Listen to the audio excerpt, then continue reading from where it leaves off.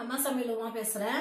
இன்னைக்கு வந்து வெந்தய குழம்பு எப்படி செய்யுதுன்னு காமிக்கிறேன். வாங்க போகலாம் பாருங்க வெந்தய வெந்தய குழம்புக்கு என்னென்ன தேவைன்னு பார்க்கலாம். வெந்தயம் வந்து நான் முளைக்கட்டி வச்சிருக்கிறேன். இது ரொம்ப நல்லா இருக்கும் குழம்பு.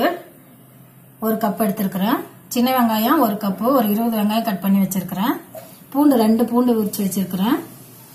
ஒரு பெரிய தக்காளியை பியூரி பண்ணி வச்சிருக்கிறேன். ஒரு எலுமிச்சம்பழம் சைஸுக்கு புளி கரைச்சல் எடுத்திருக்கிறேன் கரைச்சி. ஒரு கப்பு தேங்காய் பால் ஒன்றரை ஸ்பூன் தனியா பவுடர் ஒரு ஸ்பூன் சாம்பார் தூள் மூணு காஞ்ச மிளகா வத்தல் கருவேப்பிலை ஒரு கொத்து உப்பு தேவையான அளவு கடுகு ஒரு கால் டீஸ்பூன் உளுத்தம்பருப்பு அரை டீஸ்பூன் சீரகம் கால் டீஸ்பூன் சில்லி பவுடர் அரை டீஸ்பூன் மஞ்சத்தூள் கொஞ்சோண்டு ஒரு அஞ்சு டேபிள் ஸ்பூன் எண்ணெய். வாங்க இப்போ எப்படி செய்யலான்னு பார்க்கலாம். பாருங்க எண்ணெய் ஊத்துறேன். நான் எள்ளெண்ணெய் ஊற்றிருக்கிறேன் பாருங்க கடுகு போடுறேன். உளுத்தம் பருப்பு சீரகம் காஞ்ச மிளகாய்.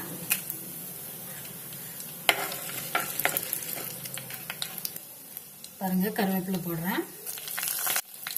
பூண்டு.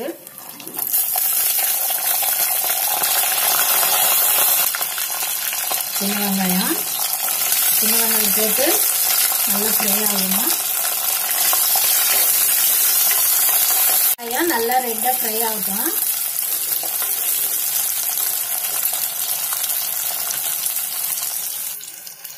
உப்பு இதுலேயே போட்டுக்கலாம். சீக்கிரம் ஃப்ரை ஆகிடும்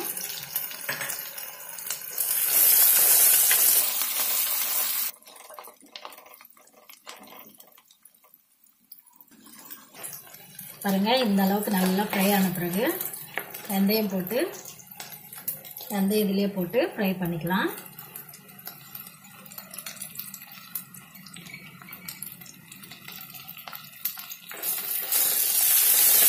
இது வந்து கசப்பே வராது ரொம்ப நல்லா இருக்கும் இந்த குழம்பு. இந்த மாதிரி முளைக்கட்டி செய்யறதுனால ரொம்ப டேஸ்டா இருக்கும்.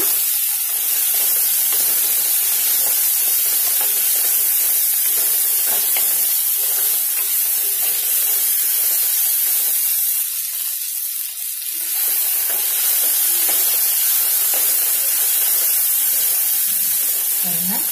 ஃப்ரை ஆயிடுச்சு. நல்லா மஞ்சத்தூள் போட்டுக்கலாம்.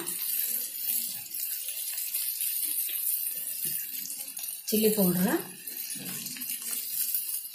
இது வந்து சாம்பார் பவுடர் தனியா பவுடர்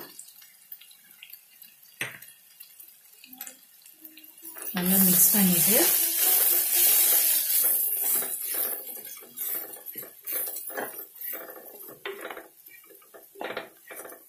இப்போ நம்ம தக்காளி போடலாம்.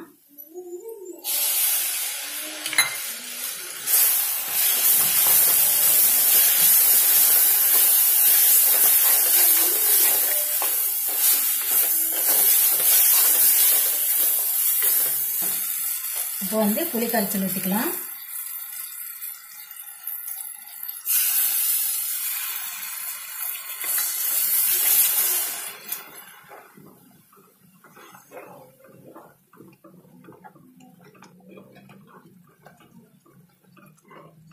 கொஞ்சம் தண்ணி சேர்த்துக்கலாம்.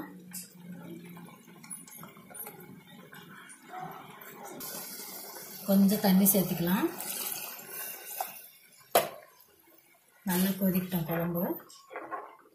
லாஸ்ட்டில் தேங்காய் பால் சேர்த்தலாம்.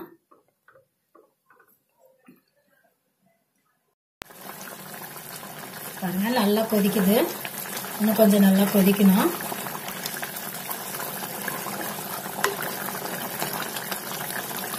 இன்னும் கொஞ்சம் கொதிச்ச பிறகு தேங்காய் பால் ஊற்றலாம் பாருங்க இந்த மாதிரி நல்லா எண்ணெய் பிரிஞ்சு வர வரைக்கும் நல்லா கொதிச்ச பிறகு இப்போ இந்த ஸ்டேஜில் நம்ம தேங்காய் பால் ஊற்றிக்கலாம் பாருங்க ரெடி ஆயிடுச்சு குழம்பு. லாஸ்ட்டில் தான் தேங்காய் பால் ஊற்றணும் சூப்பராக ரெடி ஆயிடுச்சு குழம்பு. எப்படி இருக்கு பாருங்கள்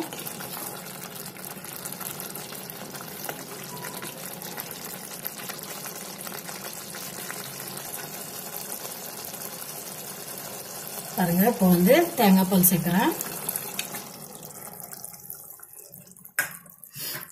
தேங்காய் பால் ஊற்றுறதுனால ரொம்ப டேஸ்டாக இருக்கும் குழம்பு. பாருங்க தேங்காய் பால் ஊற்றுனது இந்த ஸ்டேஜுக்கு வரணும். அவ்வளோ டேஸ்டாக இருக்கு இந்த குழம்பு. முளை கொட்டின வெந்தயம் தேங்காய் பால் ஊற்றி செய்கிறது ரொம்ப டேஸ்ட்டாக இருக்கும். இன்னும் கொஞ்ச நேரம் கொதிக்கட்டும். ஒரு ரெண்டு மூணு நிமிஷம் கொதிச்சா போதும்.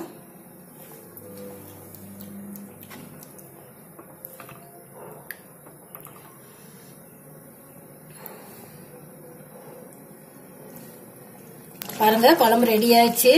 இதே மாதிரி நீங்களும் செஞ்சு பார்த்துட்டு நம்ம சேனலுக்கு சப்ஸ்கிரைப் பண்ணுங்க ஷேர் பண்ணுங்க லைக் பண்ணுங்க. நன்றி. வணக்கம்.